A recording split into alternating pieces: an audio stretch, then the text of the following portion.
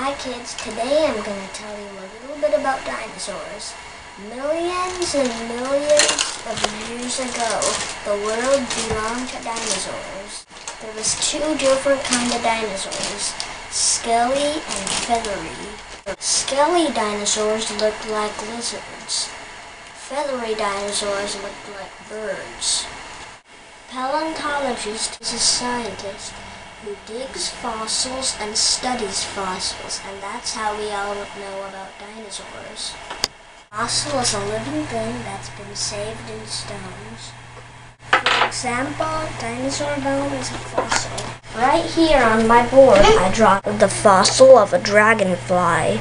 I got this one from a toy, from a like Play-Doh toy, I think. You build the bones and then you have to put the Play-Doh on it to make it look real. Dinosaur means a terrible lizard. In the days of the dinosaurs, there was no people, no cats, no dogs, no horses and cows. But there was some animals while the dinosaurs lived.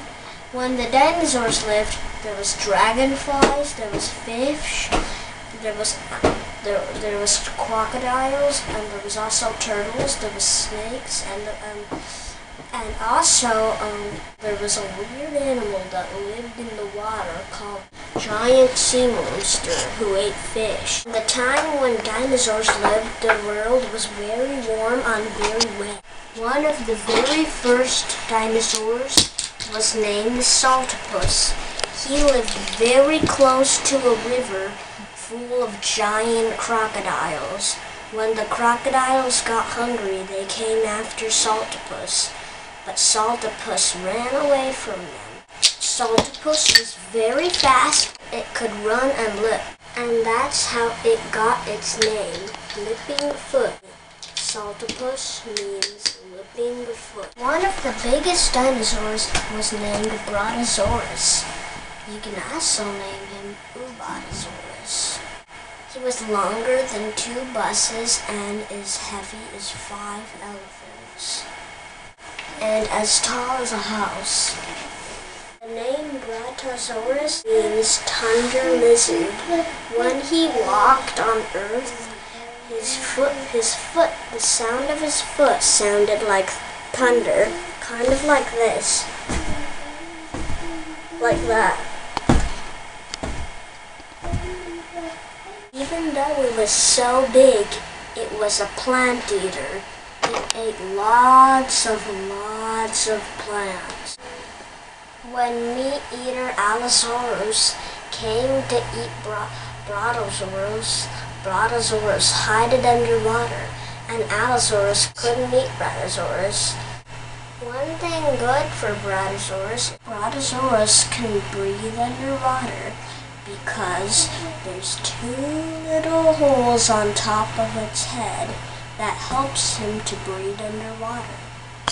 The biggest meat eater who ever walked the land was named Tyrannosaurus rex. Short name to say it is T-Rex. And also Rex means king of all dinosaurs. T-Rex's teeth was as long as a pencil and his teeth were was as sharp as a steak knife. But kids, don't worry, because now in these days, there are no more dinosaurs living.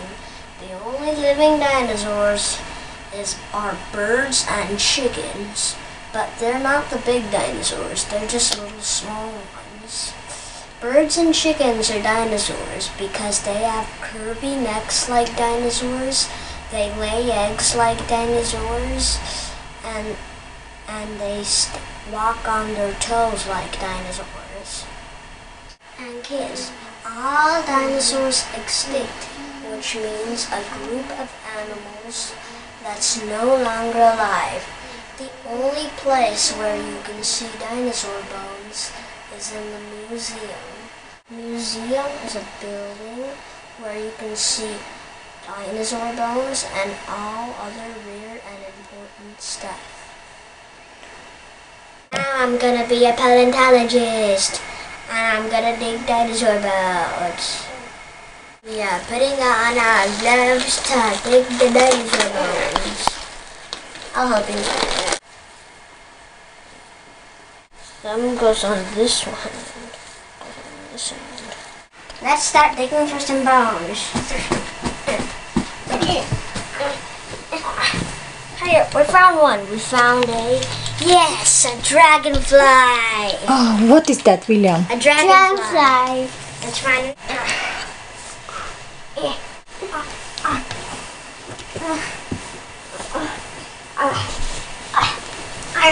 We found another one. We found Stegosaurus. Stegosaurus is a dinosaur. He's a plant eater. He eats plants.